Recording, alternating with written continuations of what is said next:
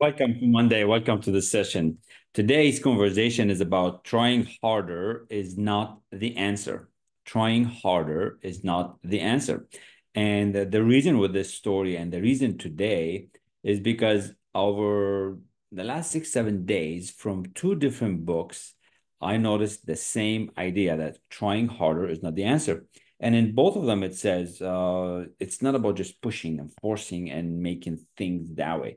You do have to work hard. You do have to uh, do and take the action, but it's not the old way. And these two books are, you know, basically from Think and Grow Rich. Says if you think by working hard uh, you're going to get rich or you're going to get really that next level results, perish the idea. And that's why 95% of the people are stuck.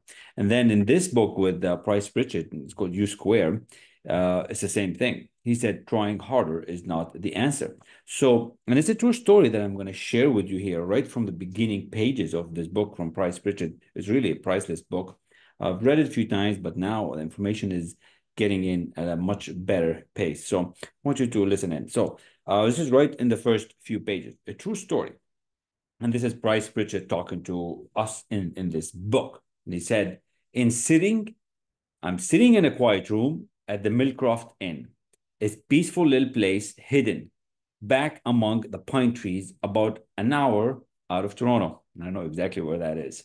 It's just past noon, late July, and I'm listening in to the desperate sounds of a life or death struggle going on on a few feet away. It's an interesting introduction if you think about storytelling. So he's just talking about death and life struggle. He's sitting in, it's an inn, it's a motel, a hotel of some sort. So he's setting you up for some really interesting story.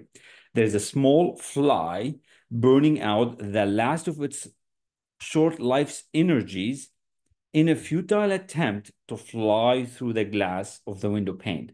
Now, we've all seen that. The winding wings tell the pointing story of the fly strategy try harder. And this fly is trying at it. He's just going boom, boom, boom towards that window. But it's not working because the fly is making its way out, but it doesn't work. And that's similar to how sometimes we go about doing things. We're just trying harder, trying harder, trying harder without opening our mind to new things. So the frenzied effort offers no hope for survival. Ironically, the struggle is part of the trap. The struggle is part of the trap. It is impossible for the fly to try hard enough to succeed at breaking through the glass. Nevertheless, this little insect has stacked its life on reaching its goal through raw effort and determination. This fly is doomed. It will die there on the window sill. So think of this example of where have you been? Where have you been trying? Uh, so many times like this and it's just a futile attempt and it doesn't really work and it's not really working right? This fly is doomed. It will die there on the windowsill. If you stake your hopes for a breakthrough and trying harder than ever you may kill your chances for success. Across the room 10 steps away the door is open. 10 seconds of flying time and this small creature could reach the outside world it seeks. With only a fraction of the effort now being wasted, it could be free of the self imposed trap. The breakthrough possibility is there. It would be so easy. Just 10 seconds of flying time. Instead, it's just banging at the window. It's banging at the window. It's banging at the window. Why doesn't the fly try another approach? Something dramatically different. How did it get so locked in on the idea that this particular route and determined effort offer the most promise for success. What logic is there in continuing until death to seek a breakthrough with more of the same? Again, think of that project, think of that time, think of that thing that you're trying to do, think of that weight loss you're trying to do, think of that money you're trying to raise, and it's not really working, and you're trying harder and harder and harder and harder. And that's what the fly is trying to do. So he's bringing you this amazing, incredible example. Why doesn't it think of a different approach? How come it doesn't see it?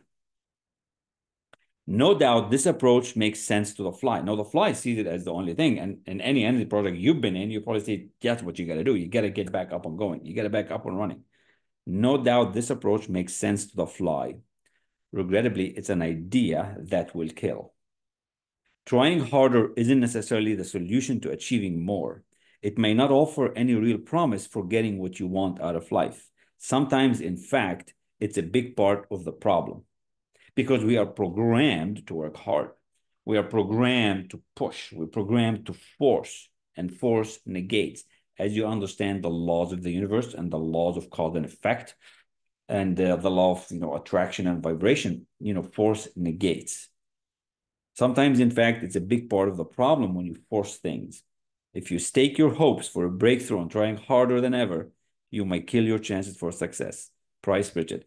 It's a really priceless book. It's pretty cool. I'm going to go through it over the next, you know, whatever, 30, 40 days, and we'll read a bit like this. But I want you to think of an example or two where you've been trying harder, where you've been struggling, where you've been hitting da da da da da. And how, what if a different approach comes in and opens up a door for you? What if your higher side of you, your imagination, your intuition, your perception, your reason could be expanded? So you have this expansion of ideas to let you in on yourself for a much different approach. How would that be? See, when you work on something with somebody that's done it, it's so much easier. Whereas we are have this, we have this tunnel view, right? And we just tunnel in. So I want you to think of this example about the fly, how it's trying harder on the window, and eventually it's going to die. You know that, and I know that. And 10 seconds away, she could escape and off it goes.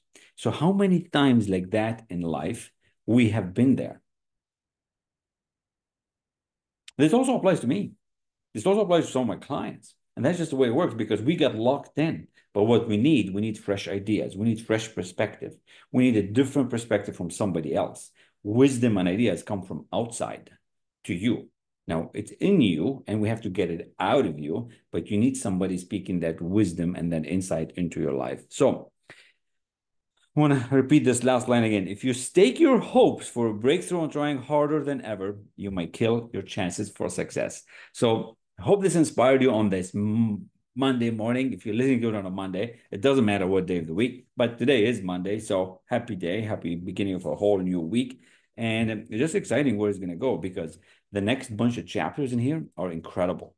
And uh, we're going to dig into that a little bit more as we go through the week and uh, talk to you soon. If this inspired you, make it happen. And uh, I look forward to meeting you soon. Take care.